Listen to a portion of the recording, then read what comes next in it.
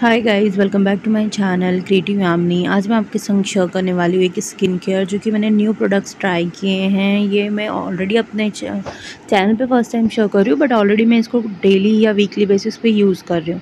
First ये एस्टाबेरी का bio hyaluronic face wash इसका फोमिंग फेस वॉश आपके फेस को बहुत अच्छे से क्लीन्स कर देता है। तो यहाँ पर क्लिनजर मैंने नहीं किया था फेस वॉश कर लिया था।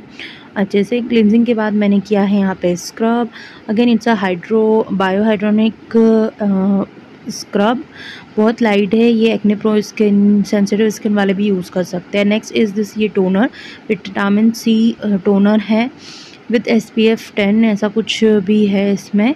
आ, बहुत अच्छा टोनर है बट ये थोड़ा सा मुझे सूट नहीं हो रहा है। मेरी स्किन में बहुत ईचिंग सी हो रही थी इसको यूज़ करने के बाद।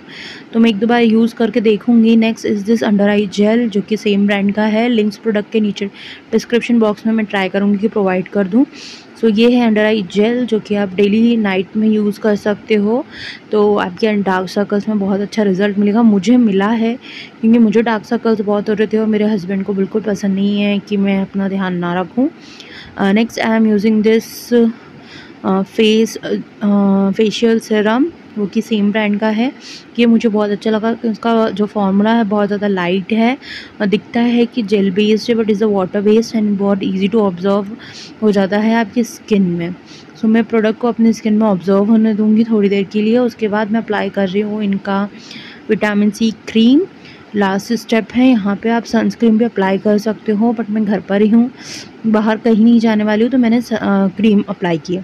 पसंद आया तो लाइक कर दीजिएगा। Thank you for watching guys bless bye